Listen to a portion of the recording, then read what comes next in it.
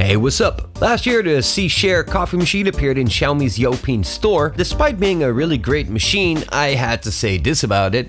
It doesn't have Wi-Fi or Bluetooth, which is a little bit of a shame because I might have actually bought it if it did. Well, they have just updated the coffee machine and very recently released this new version, a Wi-Fi enabled smart coffee maker. It works with the Mi Home app, so uh, let's go. In the box, you'll find 20 cups of coffee, an instruction manual, the coffee machine, and the leak tray. I've bought mine directly from the store here in China, so it comes with the typical Chinese-sized 3-pin plug. The design of the coffee maker itself is pretty nice, and it's pretty much the same as the first generation. Its dimensions are only 34 by 26 centimeters, being 10 centimeters wide, so it's a pretty convenient size. On the back, it's got a 580 milliliter water reservoir and the coffee maker itself weighs in at about 3.2 kilograms, making it a pretty heavy and solid feeling device. The mechanical switch on top of the first generation has now been removed in favor of a endless rotary knob because of the added Wi-Fi. Installing it in the Mi Home app is exactly the same as any other Wi-Fi enabled device. Simply go to the devices page in the Mi Home app, add a new device, and look for the Scishare coffee machine in the list of Wi-Fi devices. After this, you'll have to input your Wi-Fi network and password, connect to the device's Wi-Fi network, and that will allow it to connect to your router and install it. Once it's installed, you can assign it to a location in the app, optionally rename it, and uh, you should be good to go. Before the actual first use, I set it to clean this device. A pretty nice touch is that it's got two different flavors of coffee included, so uh, I had to try it with the coffee that they added, and the first cup I made was surprisingly good. From the app, you can uh, start the coffee machine and set it to make a cup of espresso, americano, or simply hot water. When uh, selected espresso, you can set the size of your coffee and the temperature. And when selecting Americano, you can set the amount of coffee, the temperature, as well as the amount of added water.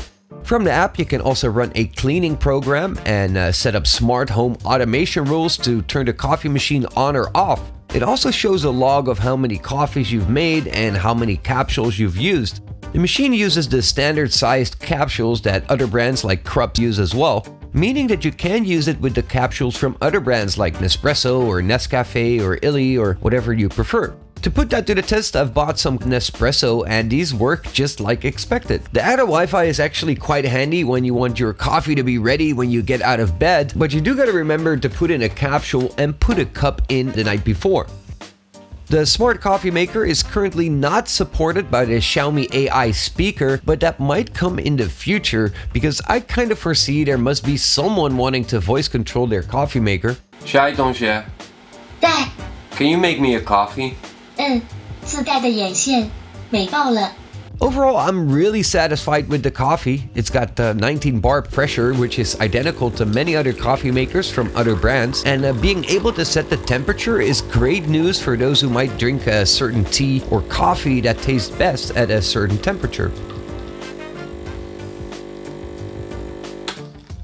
I was really quite surprised. I uh, used to make espressos with beans, but the taste of the coffee from these capsules was actually surprisingly good. In some ways, uh, a lot of people might find the added Wi-Fi to be quite gimmicky, but the option to set the temperature and the size of the coffee through the app makes this actually quite smart. With the added bonus of being able to remotely set your coffee from the bed, you might surprise someone uh, on your next sleepover. The second generation capsule coffee makers is a bit more pricey, going for 7.99 RMB as compared to the 4.99 RMB price tag of the first generation, but the added functionality of this new Wi-Fi model do kind of justify the price. So that's it for the Scishare Smart Coffee Maker. I've put down some links to where you could buy it online, and if you're interested, you can read more about it on the Xiaomify website. As always, thanks for watching, and I hope to see y'all soon. Peace.